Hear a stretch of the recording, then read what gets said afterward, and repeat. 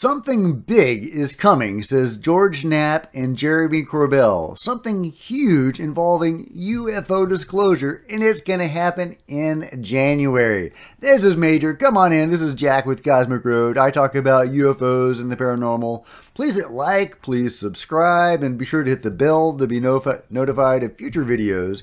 Please comment below as I'm going through this story, and please share this video when it drops on social media. Also, please consider becoming a channel member to support the channel. See the first line in the description below. Channel members re receive exclusive access and videos, or you can simply leave a tip in the tip jar with the super thanks feature below. Or heck, I'm a novelist. You can buy one of my books. There's a couple of them back there. I love George Knapp and Jeremy Corbell. They are responsible for releasing some wonderful information. George Knapp especially has really... Uh, kind of stimulated this whole era of UFO disclosure. If not for his coverage of uh, Skinwalker Ranch and, uh, you know, Bob Lazar, of course, uh, but uh, most notably Skinwalker Ranch, which directly led to the creation of um, the uh, OSAP and later AATIP and this current age of disclosure that we're living in. Well, anyway, you all know who George Knapp is, I'm sure, and Jeremy Corbell. So, what is it that they say is coming in January? Well, it involves reverse engineering uh, UFOs and the government's, uh, you know, uh, projects involving that. They were recently on an episode of uh, Curt Jaimungal's, I'm, I'm, probably mispronouncing that name, but Theories of Everything. He has a, a great show. And they gave an interview teasing some big stuff in January. I'm going to play that segment it's kind of a long segment, it's like five minutes long, but I'm going to let it play in its entirety because there, there's some really juicy uh, content in it. Okay, here goes. I, am looking forward to George and I have some stuff coming out, uh, a lot of stuff we've covered that we're going to be able to reveal a lot more information on direct witness testimony. Just you're going to hear from people that, that you wouldn't expect you'd be able to hear from stuff George and I have talked about but now you get to hear directly from those individuals. So I know in January that the UFO subject is going to blow up again because new information will be coming to light. Hmm. It's uh, Great you know, this, this was an exciting year. The end of the year, the signing of the NDAA, and and what that means uh, moving forward. I mean, it's great in a sense. It's sort of uh, to coin the old cliche. It's sort of the uh, the end of the beginning, not the beginning of the end, because we're we're finally, as a society, moving toward trying to figure out are these real and are genuinely asking the question. And of course, Curt, as you have learned, the answer is yes, they are real. And now, maybe, you know, in the years to come, AARO, NASA, uh, various scientific organizations that are now openly interested in the topic can can address the bigger questions, the, the really important ones.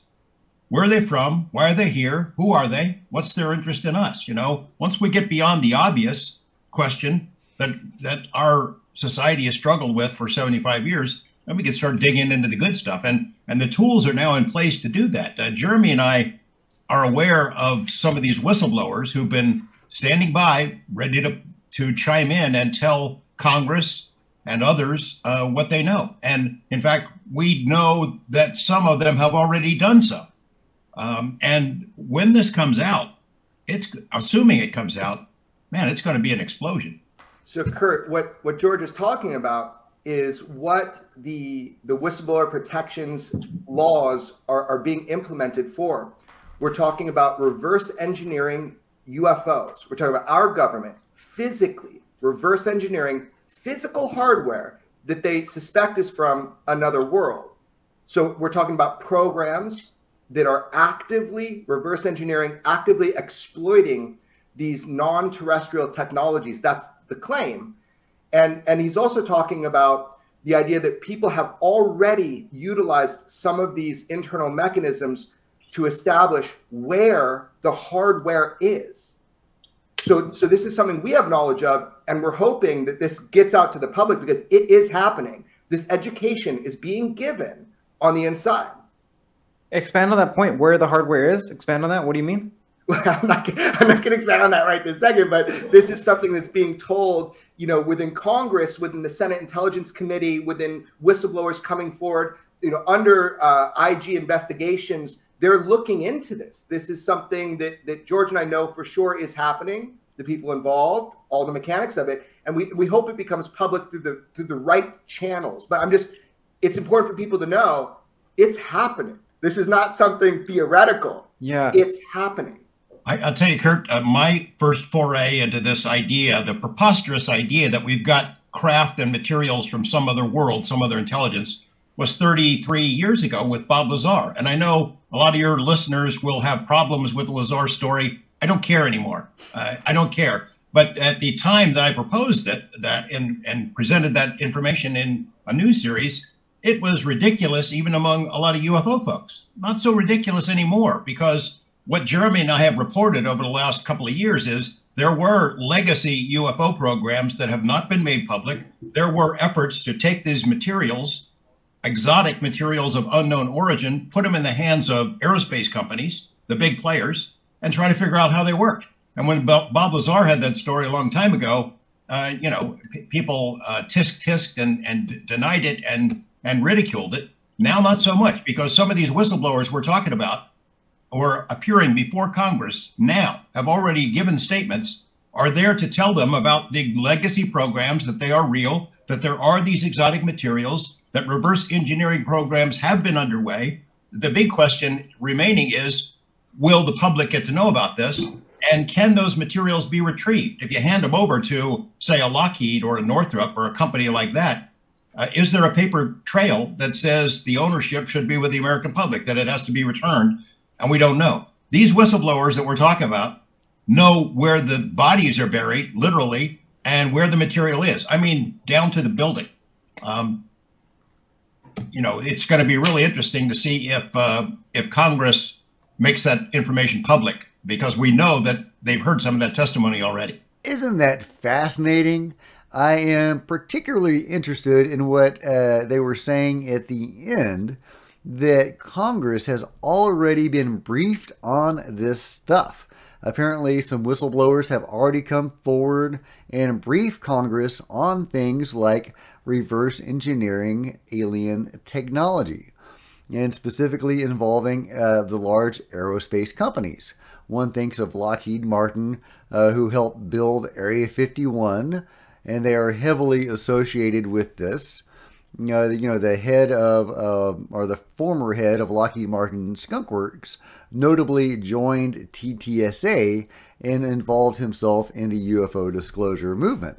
So, you know, that's kind of significant, I, I, think. But, of course, Boeing and other companies are probably involved too. In a recent video I made on some comments by Ross Coulthart, Ross uh, specifically talks about uh, aerospace companies uh, in Long Beach, California, or uh, one particular aerospace company that is involved in UFO crash retrievals and uh, even global cl- crash retrievals going all the way to Australia to re- uh, retrieve a downed UFO. He wouldn't say what that company was, only that it was located in Long Beach, California, which unfortunately is home to a bunch of different aerospace companies, so it's kind of hard to pin down which one he was talking about. But anyway, so Congress apparently has been briefed on this stuff, and uh, George Knapp is unsure if they are going to release this information to the public.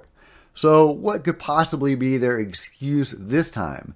If Congress has been briefed on UFO crash retrievals and the uh, programs related to reverse engineering this technology, what possible excuse could they use this time to uh, withhold that vital information from the public? Of course, they're going to say that it's, you know, national security or whatever. But that is such a BS reason that is past its expiration date with me. It has been for a long time. That is simply an excuse uh, why withhold this from the public?